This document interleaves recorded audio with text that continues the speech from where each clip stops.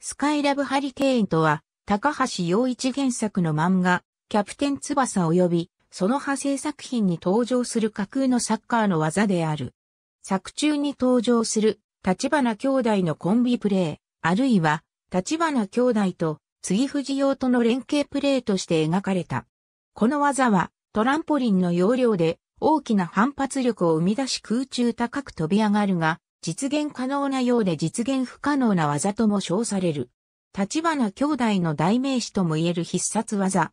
名称は、アメリカ航空宇宙局が1970年代に、サターン V 型ロケットとサターン IB 型ロケットを利用して行った宇宙ステーション計画のスカイラブ計画に由来している。作者の高橋によれば、この技はプロレスのタッグマッチにおける合体技にインスピレーションを得たもので、作中では立花兄弟が打倒南くず中学校を目指して特訓の末に第16回全国中学生サッカー大会の直前に生み出されている。兄弟のどちらか一方がピッチ上に仰向けになり両足の足裏を上に上げた状態で射出台となり、もう一方がそれに飛び乗り足裏同士をドッキングさせる。そして互いの足を屈曲した状態から一気に進展させることで大きな跳躍力を生み出し、空中高く飛び上がり味方からのセンタリングのボールに合わせ、シュートを放つ。また射出台となる選手が足の角度を変えることで、センタリングの高さに関係なく射出することが可能となる。作中では、射出台側の選手が高く上げられたボールに対しては、頭をゴールに向け、低いボールに対しては足をゴールに向ける使い分けを行っていた。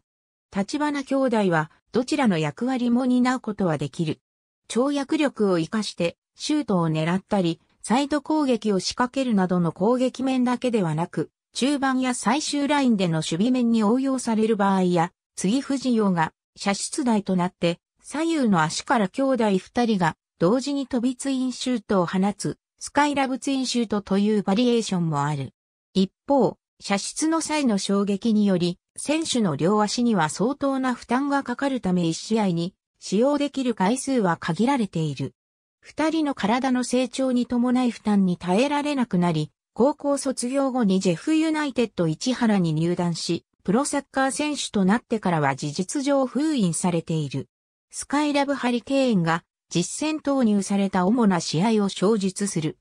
なお、1から5の試合に関しては30分ハーフ、それ以降の試合は45分ハーフで試合が取り行われている。花は中学校 V 南区図中学校日本ジュニア、ユース V ハンブルグジュニア、ユース、日本ジュニア、ユース V イタリアジュニア、ユース、日本ジュニア、ユース V アルゼンチンジュニア、ユース、日本ジュニア、ユース V フランスジュニア、ユース、日本ユース V オランダユース、日本ユース V 中国ユース、日本ユース V メキシコユース日本 U-22、V オーストラリア U-22 乱暴な行為選手がボールを奪うことなく相手選手に対して過剰な力を用いるか、暴力行為を行った場合は乱暴な行為を犯したとみなされる。また味方選手やそれ以外のものに対して過剰な力を用いるか暴力行為を行った場合も乱暴な行為を犯したとみなされる。この技は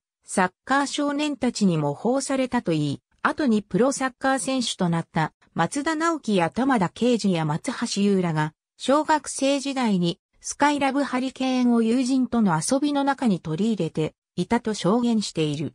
その中で玉田は夏にプールに行った際、友人とスカイラブハリケーンを模倣して遊んでいたと証言している。イタリアのスポーツ紙、ガゼッタ・デロ・スポルトは2014年2月に実写版、スカイラブ・ハリケーンの動画を公開した。動画には実際のサッカー選手が出演し、花は SS の紫色のユニフォームを着たフアン・マヌエル、イトゥルベが、射出台となりマノロ・ガッピアディーニがシュートを放つが、メイワ FC の黄色のキーパーユニフォームを着たキーパーのマッティア・ペリンの三角飛びによって阻止されるといった内容となっている。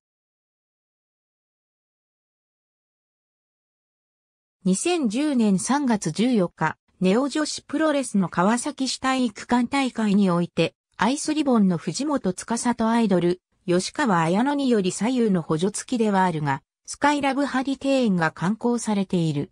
2018年6月2日、DDT プロレスリングの茨城、つくばカピオ大会において当時 DDT ニューアティチュードのマオと DDT 参戦中のマイク・ベイリーにより、スカイラブハリケーン式のミサイルキックが初披露され、後にマオとベイリーのタッグにおける定番技となる。踏み台役のベイリーがロープに逆立ちで寄りかかっているため見た目上はスワンダイブ式に近い。ありがとうございます。